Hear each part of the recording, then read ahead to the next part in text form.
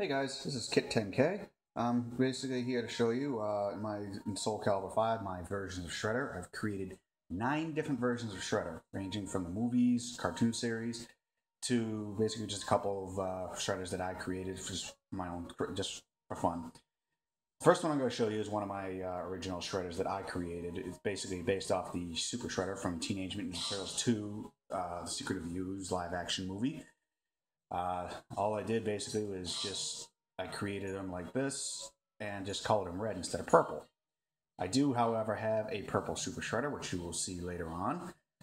This right here is, like I said, just my red Super Shredder. I guess you could say it's the uh, way Shredder was dressed in the first movie, just uh, he mutated himself instead of in the second one.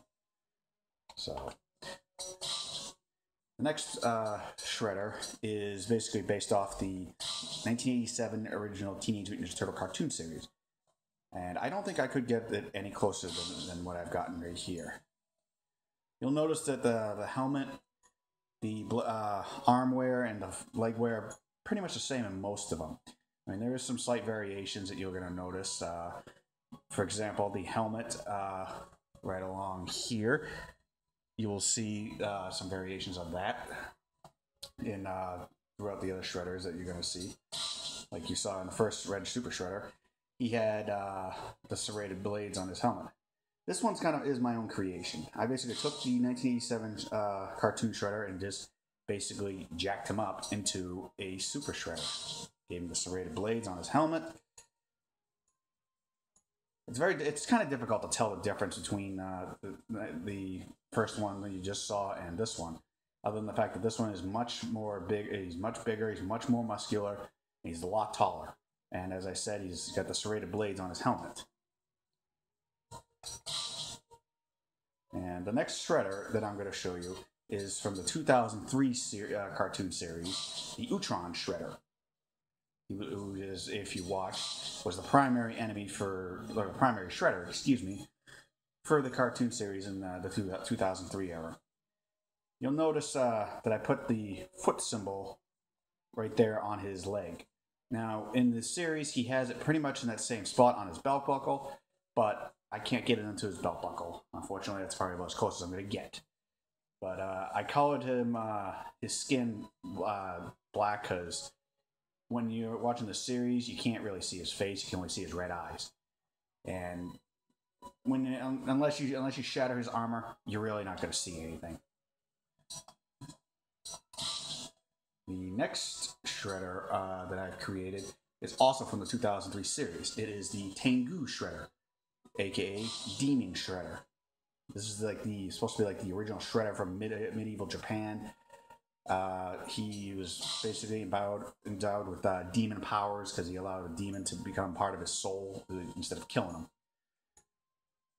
It might be a little tough to see because it's dark, but I'll zoom in so you can see that what I've done. I did the same thing with his skin, you know, made it black, so unless you shatter his armor, you're really not going to see anything. Uh, this is what I was talking about. The Tengu Shredder did not have any blades on his legs. At least I don't recall. I haven't seen it for a while. But you can look online for the pictures of all these different variations of Shredder, be able to compare the differences. Even though he doesn't have any blades on his legs, which I kind of wish he did, but I wanted to try to keep it as authentic as I possibly could. This is definitely one of my favorite uh, Shredder creations from uh, that's based off uh, the series as much as I possibly can. He even has the uh, tattered cape that uh, basically the uh, Tengu Shredder had in the cartoon. The next one is uh, the Shredder based off the Shredder from the Teenage Mutant Ninja Turtles back to the, uh, the sewer series, which takes place after the Fast Forward one, which they get cat- transported into the future. This is the Cyber Shredder. And as you can notice, I put the Foot Clan symbol on his chest, which is how he basically was in the uh, cartoon. This Shredder is a digitally created Shredder. He's like a mind copy from the Utrom Shredder who backed up his memories online, and the, the Shredder escaped from cyberspace, only to like uh, his original creator, like the Shredder created him, to try to kill the turtles.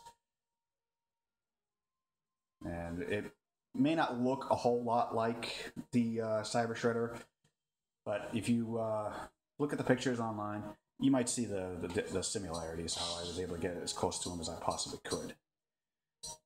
The next shredder that I am going to show you is, as I mentioned earlier, the purple Super Shredder from Teenage Mutant Ninja Turtles 2, who was, by obviously, if you don't know, was played by Kevin Nash, a seven foot uh, wrestler. He play, he portrayed the Super Shredder, which a lot of people don't really know. And as I said, the red Super Shredder and purple Super Shredder are just copies of each other. The red one was just my kind of my own creation because I wanted to see like Super Shredder with red instead of purple.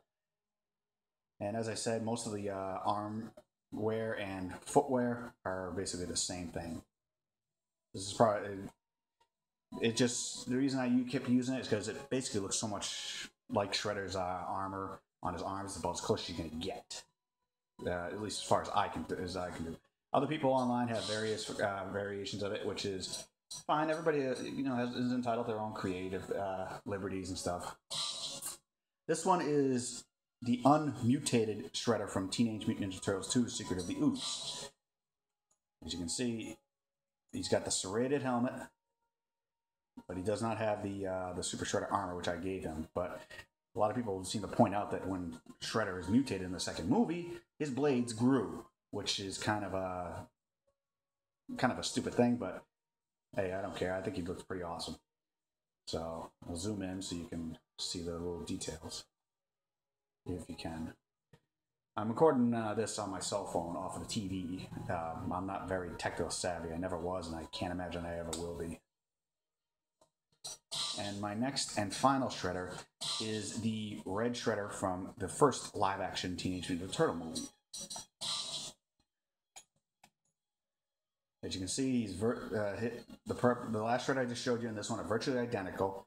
The only two different, three differences, excuse me, is the helmet. It does not have the serrated blades. His suit is red instead of purple, and he has the cape. Now, if you ever create these shredders, you can put the cape on. Uh, if you recreate the purple one I just did, you can put the cape on him if you want. I just kind of thought I'd leave it off just for some subtle differences because most of the movie he did not wear the uh, cape in the second one.